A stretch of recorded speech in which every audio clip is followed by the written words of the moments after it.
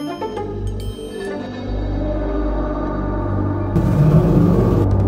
thought I heard something behind me.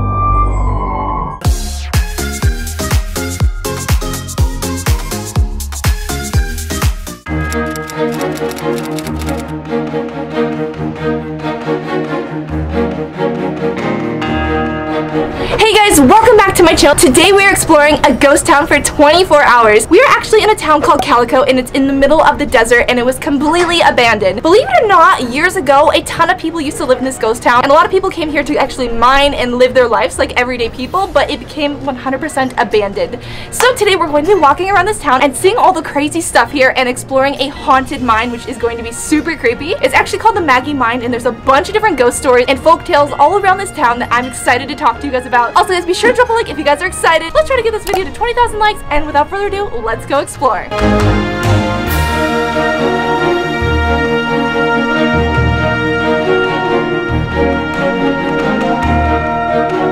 Is a part of the mine shaft of Maggie Mine. I think that door right there actually has entrance inside from a mine, but that's closed. I have to find the actual entrance to this place. Okay guys, so I just got tickets to go into the Maggie Mine and I'm a little bit creeped out. This is a thousand foot cave and we're gonna explore it and see if we find anything creepy inside of there. I don't know what to expect because like I said, I've never been in this, but like I said, it used to be a real mine shaft and there is a ton of different ghost stories inside of this cave that we're going to be investigating and looking into guys. So drop a like because we're doing some crazy stuff today. Before I entered the Maggie mine, I was walking around the waiting room and there was a bunch of very strange animatronics. Honestly, they were very creepy, let alone. What was mined at Calico? Let's push this and see.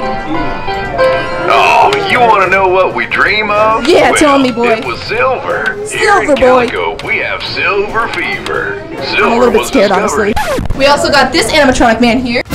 Also, it was a little bit scary. He has a guitar. And there was a lot of history about the Maggie mine all around the waiting room and some of the stories about the mine. So it was all the way in 1881 when this mine was operating. So that was quite a long time ago, guys. And this is some of the trail of the mine. Wow, that looks seriously so old. These photos are definitely old, but it's pretty cool to see what it used to look like. So this is the entrance to the mine, guys. We're about to go inside now, and it looks like a pretty long way. So let's see what we can find in here. All right, so in the beginning of this, we're seeing a lot of different fossils for all my rock lovers out there. I collect a lot of different rocks, so it's pretty fascinating. But I'm not gonna lie, it's um very dark in here, and it goes down a pretty long way. So I'm not sure how to feel about this. I'm also gonna ask you guys when you guys are watching this video to like pause if you guys hear anything weird or see anything, because I might miss something. So let me know in the comments down below if you guys see or hear anything. It's so creepy. Oh, is that like a shaft? Oh my gosh, it is. There's like a ladder here with a bucket. Oh, there's some kind of like animatronic right here. This is the scariest thing I've ever seen. Look at him. I don't know if I told you guys, but there has been a lot of reports of singing heard in this mine when you're all alone. Right now, I don't know if you guys can tell, but I'm standing all alone in this cave. I'm gonna listen to make sure I don't hear anything weird. Sometimes people say they hear people hitting the wall like they're mining, and also mine shaft sounds like carts moving all by themselves when there is no carts down here. And there has been some deaths back in the days when people are trying to explode areas to get through the shafts of this mine, and it's super sad and super scary. Oh, I thought I heard something. That creeped me out so much. But let's keep walking and see if we catch anything. I don't know why, but in this specific spot, it feels extremely cold. And I don't know if you guys know, but like when they say you're in like a colder spot, there could be like a spirit presence. And I don't know why, but right here, I get like the weirdest feeling. And this spot is super weird too because there's like holes that go pretty high up into the ceiling. Those for such a long ways too. That's so weird. My shadow looks like it's doubled. Oh, what is that? Some kind of like animatronic. The fact that they put like animatronics in here in like different spots is just the creepiest part about walking through this. Like imagine if they just moved on their own. I think that's creepier than the cave itself, honestly. I thought I heard like a growl in here. Yo, I'm not even tripping. It's so dark back there. Look at that. Ugh. I don't even want to be in here, but I love you guys, so I'm doing it for you guys. Hello? Any spookies in here? So big. Look at my shadow. It smells weird down here. If there was an earthquake though, that'd be so scary. Ew, I thought I saw something back there. What is that? Some kind of animatronic. I don't like that. I feel like he just moved. Wait, did he? Why'd the camera get all blurry all by itself? I feel like that guy shook. Okay, I'm creeped out. We're getting away from there. Honestly, this is one of the creepiest places I've ever walked through. And if you guys were in here, you would understand what I'm saying because you're walking through a cave all by yourself with little animatronics all through it. No one's here. It's like pitch black without my light that I brought, which I don't have in front of me right now. My assistant's carrying it. And it's just so eerie. I don't know what it is about walking through a cave that just creeps me out, but just everything about it just feels definitely pretty eerie and like the energy is super high. Oh, I, I get really cold right here too. There's like certain areas of this cave where I just feel colder than others. Oh, now I feel like super hot. I'm not kidding, I just feel like something just touched my leg. I don't know what that was. Maybe it was like a bug. Okay, I'm like creeped out, come on, let's go. So this is the Oh my gosh, that scared me so bad. I heard like a breath. This is the dead man's drift. So large opening areas like this were often called stopes. I think this is the spot of the mine where a death actually took place. So right now it's super creepy, but where this little animatronic is talking and holding a show is actually one of the spots of the cave where a death took place. And I just feel negative energy right here. I haven't like caught anything super weird. I did feel something like brush across my leg, but right here it feels so much hotter than it should and it just feels really eerie.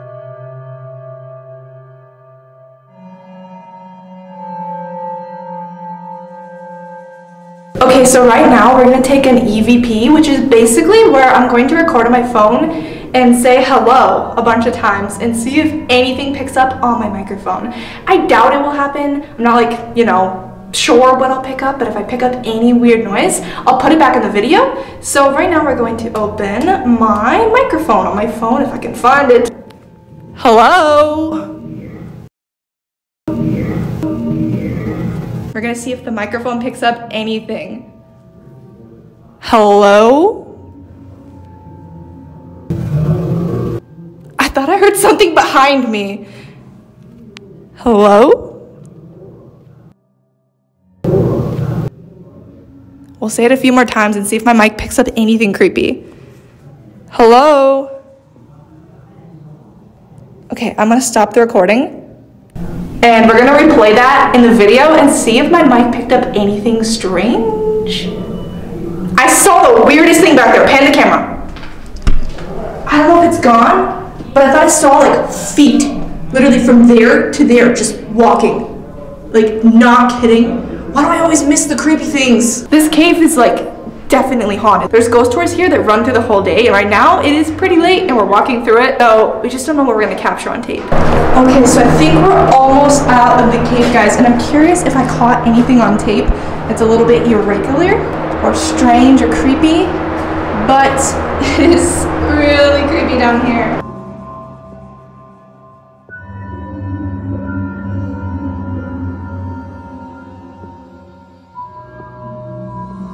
Now we're finally at the exit. No more spooky cave for me. I'm getting out of here. The exit only. Bye, spooky, scary cave. I won't miss you. Dangerous mine shafts. Do not pass beyond this point. Oh yeah, is that a challenge?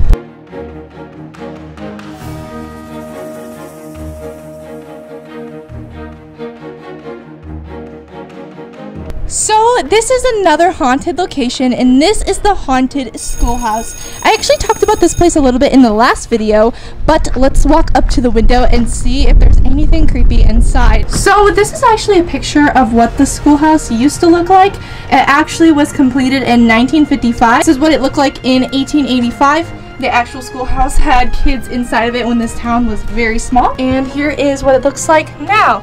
Um, hopefully you guys can see. I know there's a lot of shadows and stuff, but I tried to keep like the same vibe of the schoolhouse inside and replicate it as good as possible. It's really creepy looking though, honestly. Especially like all the doodles on the whiteboard. I don't know if you guys can see that. But there is actually a lot of ghost stories in here of students being seen sitting in their desks when nobody's in here at all. It's actually 100% locked off.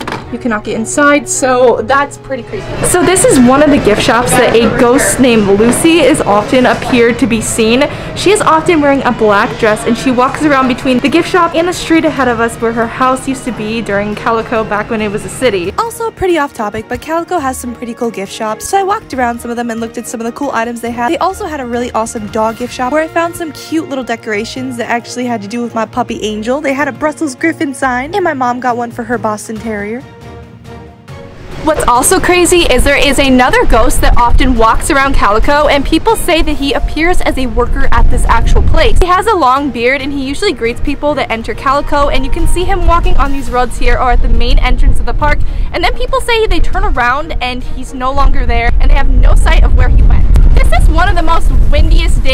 I have ever filmed a video and I do want to apologize to you guys if, you know, there's not a lot of my face because my hair is blowing around like crazy and it's hard to use my microphone in the wind like this but we are by a bottle house right now. Check this out. It's literally made out of complete bottles. And the funny thing is, and I think there was this back when the town was running, they used to actually take bottles and make little houses with them. And I think that's cool that they still have this here. Bangs. I look like blonde Dora the Explorer.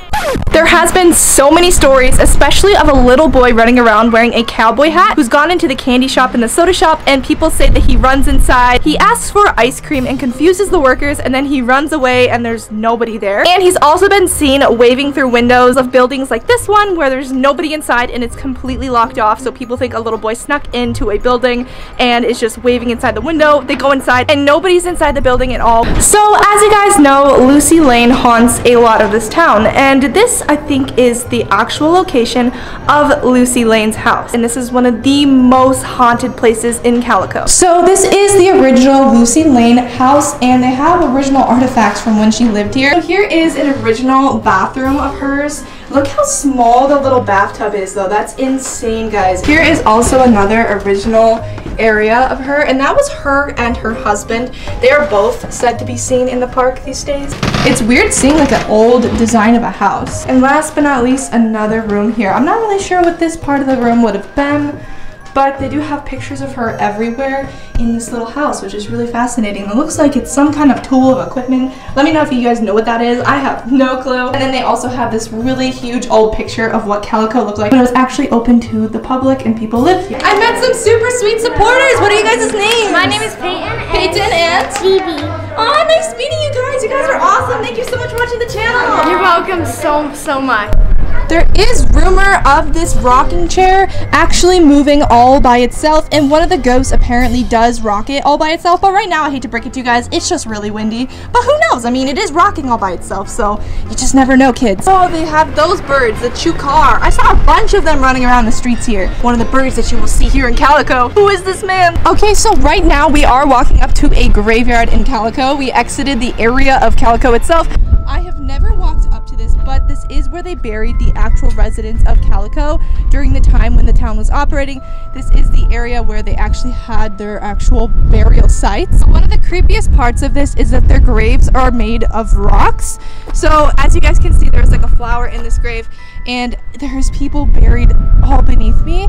This is probably one of the creepiest spots I have ever been to on my channel is just standing in a graveyard. All due respects though to all the people who lost their lives while they were living out here. This area as well as some of the other areas in the park is one of the most haunted spots in Calico and there is a ton of activity at this graveyard especially at nighttime. One little gravestone right here, I'm not sure whose it is. It is for baby boy Mudget, son of Leroy and Mulchi Mudget. That is so sad. I think it was a little boy who died on that grave. And there's a bunch of like planks on some of these other graves in the graveyard.